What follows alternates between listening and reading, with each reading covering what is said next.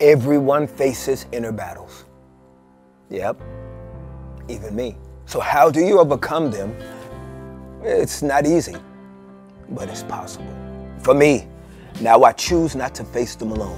Growing up, though, this wasn't always the case. As a child, I couldn't speak to my parents. I didn't know my daddy personally. My mama was young when she had me, and she left me with a lady named Gertrude at the age of four. I love Gertrude, though. Man, she was a no nonsense, Bible based believer, and she raised me in a strict Baptist household.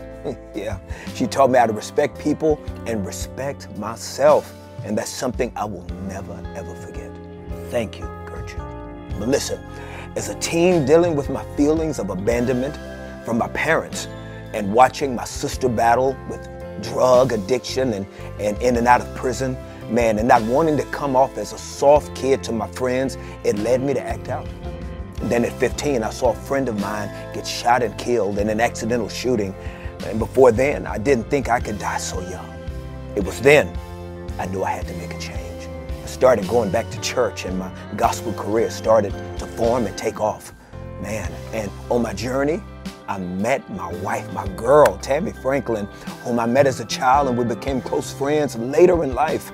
Uh, she was with me when my career took off very quickly. I love that girl. I went from performing in churches in Texas to opening up for your boy Steve Harvey, touring worldwide and selling millions and millions of albums. Even then, we went through some tough battles together and individually, but we went to counseling to get through them all.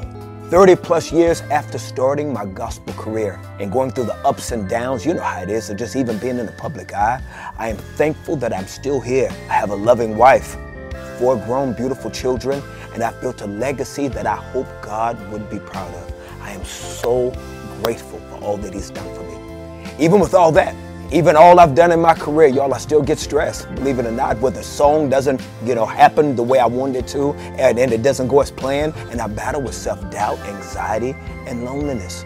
But I need for you to know you're not alone. You are not alone. I've been there too, and I'm successful today because I learned not to face my issues in isolation.